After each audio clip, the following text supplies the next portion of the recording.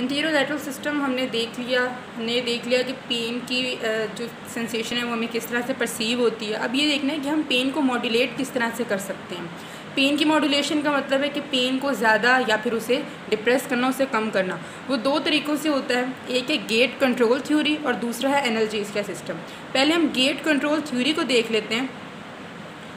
तो ये तो था, अब इसके लिए पाथवे देखते हैं। पहले ये तो नॉर्मल पाथवे था हमारा एंटीरोलेटरल सिस्टम वाला कि टाइप सी जो है वो स्लो पेन को लेकर आ रहे थे और ए डेल्टा जो है फास्ट पेन को लेकर आ रहे थे आराम से। यहाँ से इंटर न्यूरोन दरमियान में था और यहाँ से ऊपर वो पेन की फीलिंग्स कॉन्ट्रालेटर साइड पर लेके जा रहे थे। लेकिन अब गेट कंट्रोल थ्यूरी में क्या है? जब हमें कोई चोट लगती है तो हम फ़ौर वहाँ पे रब करना शुरू करते हैं। वो रब करने से हमारी जो पेन होती है वो कम हो जाती है। अब ये गेट कंट्रोल थ्योरी उसका आंसर देती है कि रब करने से हमारी पेन कम क्यों हो जाती है। देखिए यहाँ से ये डॉर्सल कॉलम मीडियल मिनिस्कल पाथवे जो हमारी फा, फाइन टच की फीलिंग जो है वो लेके जा रहा था। अब वैसे तो हम हमने ये देखा था कि ऊपर लेके जा रहा है लेकिन अपना एक फाइबर जो है ये जो इंटर न्यूरॉन है उसके पास भी लेके जा रहा है। उसको ज़रा यहाँ पर हम देख लेते हैं। यहाँ पर ज़रा बड़ा करके आराम से हम देख लेंगे। तो ये जो है फास्ट पेन या स्लो पेन के लिए फाइबर इन आ, आ, वो इजीनेस के लिए हमने थोड़े से एक साथ मिला दिया वरना फास्ट पेन का अलग और स्लो पेन का अलग था। तो ये ए सी और ए डेल्टा फाइबर यहाँ पे आ रहे थे ये ऊपर जा रहे थे पेन की सेंसेशन यहाँ पे एक इंटर न्यूरॉन है। ये जब डॉर्सल कॉलम मीडियल मिलिस्कर अपनी फाइन टच वाली फीलिंग्स ऊपर लेके जा रहा था सेंसेशन ऊपर लेके जा रहा था तो उसने अपना एक फाइबर यहाँ पे दिया इस इंटर न्यूरॉन पर।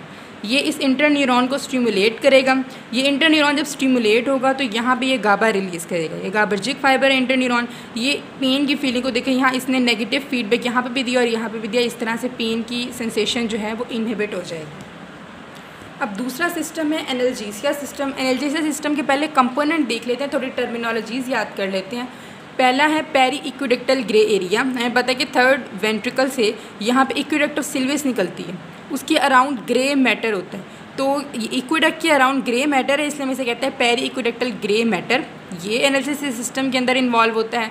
दूसरा है पेरी वेंट्रिकुलर ग्रे मैटर ये थर्ड वेंट्रिकल के अराउंड भी ग्रे मैटर होता है, इसे कहते हैं periventricular grey matter third one है लोकस सीरूलियस ये मिड ब्रेन के अंदर एक स्ट्रक्चर होता है उसे हम कहते हैं लोकस सीरूलियस और फिर है रेटिकुलर फॉर्मेशन रेटिकुलर फॉर्मेशन हमें पता है जो कि ब्रेन को वेक करवाता है, उसे जगा जगा के रखता है. ये रेटिकुलर फॉर्मेशन जो है मेडुलर पॉन्स के अंदर होती है.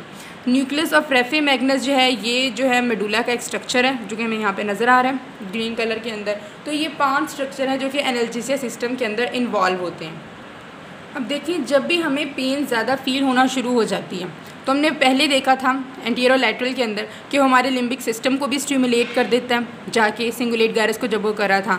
हमने देखा था कि वो हमारे पराइटल कॉटेक्स यानी कि सोमेटो सेंसिटिव कॉटेक्स को भी जाके वो स्टिमुलेट करे वो इंसुलर कॉटेक्स को भी जाके स्टिमुलेट करे तो ये सारे एरियाज़ जो है ना, ये, इन्होंने अब इनहिबिटरी मतलब ये देखिए एंटीरोलैटरल जो है पेन पाथ के लेके जा रहा था। जब पेन बहुत ज़्यादा बढ़ जाती है तो यहाँ से ये सिग्नल जो है ना लिम्बिक सिस्टम से ये था spinocephalic tract spinomesencephalic मैंने पहले ही बताया था कि एंटीरोलैटरल के अंदर से ये भी निकलता है, जो कि पेरिकोडेक्टल ग्रे एरिया के पास जाता है। तो ये यहाँ पे जा रहा है।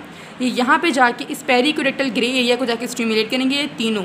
स्पाइनोमीजन सेफेलिक ट्रैक लिम्बिक न्यूक्लियस से ये ट्रैक जाएगा सेंसरी कॉटेक्स से जाएगा, ये इसको जाके स्टिमुलेट करेंगे।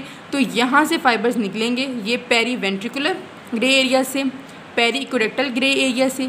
ये जाके फिर तीन स्ट्रक्चर्स को स्टिमुलेट करेंगे। पहला देखिए, ये इसने लोकोसिरुलस को जाके स्टिमुलेट किया। दूसरा इसने जाके रेटिकुलर फॉर्मेशन को स्टिमुलेट किया। तीसरा इसने जाके raphe magnus nucleus raphe magnus को जाके स्टिमुलेट किया। अब ये तीनों स्ट्रक्चर जो हैं, ये स्टिमुलेट हो गए।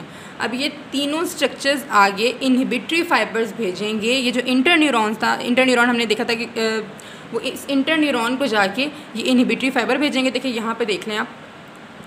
ये पेन पाथवे जा रहा था ये हमने देख लिया डॉर्सल कॉलम वाला के जो कि गेट कंट्रोल थ्री का था इसको छोड़ें अब।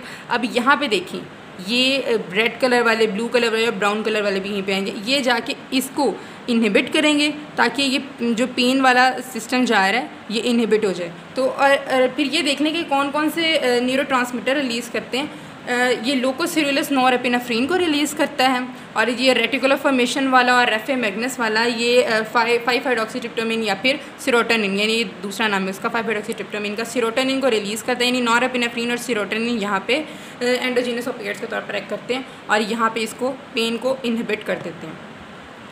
अब ज़रा टाइप सी फाइबर और ए डेल्टा फाइबर्स के अंदर डिफरेंस देख लेते हैं। अब इनके अंदर ऐसे क्या डिफरेंस है कि type C fibre slow pain को कैरी करते हैं और ए डेल्टा फाइबर जो है फास्ट पेन को कैरी करते हैं? एक तो इनके अंदर ये डिफरेंस है कि टाइप सी जो है वो लाइटली मालिनेटेड होती हैं या बहुत अनमालिनेटेड होते हैं और ए डेल्टा फाइबर जो हैं ये हैवली मालिनेटेड होते हैं।